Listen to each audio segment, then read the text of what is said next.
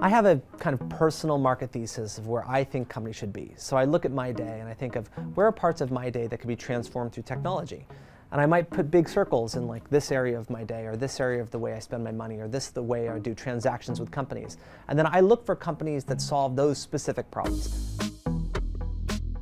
Science is a Los Angeles studio where we work with early stage entrepreneurs and we help them build their businesses. I love working with early stage ideas and founders and entrepreneurs, but I wanted to do more than just invest. I wanted to put the people I knew around me, that we were the absolute best team I'd ever worked with on building these companies, and have us work with the entrepreneurs to drive those kind of initial moments of innovation and excitement.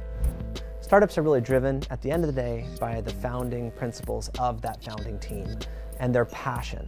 I overall believe that if somebody's connected to a problem very personally and they're starting a company and they're pursuing their dreams because of a very personal reason to them, they can be really successful at it. I think when you have people that go into markets just because they think it's a logical place to be or because of some very specific business case scenario, they probably have a higher percentage chance of failing. I'm excited today about mobile. And so when I think over the last even 10 years in technology, we've never seen a platform grow like mobile phones.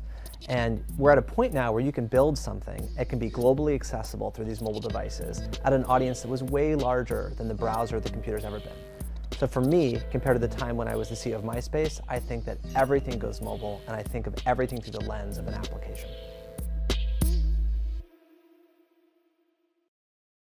Hey YouTube fans, I'm Landon Dowdy from CNBC. Thanks so much for checking out our channel. Here you'll find videos packed with all the info that you need to be smarter about your finances.